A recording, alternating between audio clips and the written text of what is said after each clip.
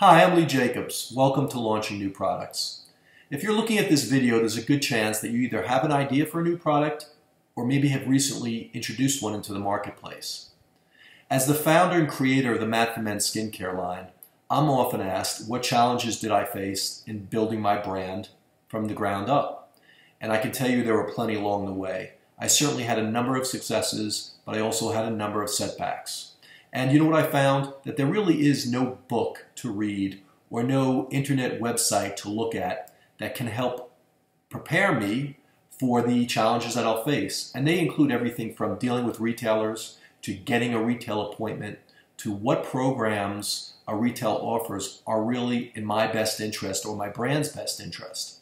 Um, I've looked at things like trademarking and UPC generation uh, you know, label design, all these good things. And these are concepts and challenges that you're going to face with your new product or brand. Um, I wish I had somebody to speak to that went through it successfully, and now you do. Uh, take a look at our website, Launching New Products. I'd love you to take look around, see the successes that I've had, and the challenges that I've overcome, and I'd love to help you overcome those challenges as well. If you feel that we can be of service to you, please feel free to reach out to us through our Contact Us page, and we'll be happy to get back to you.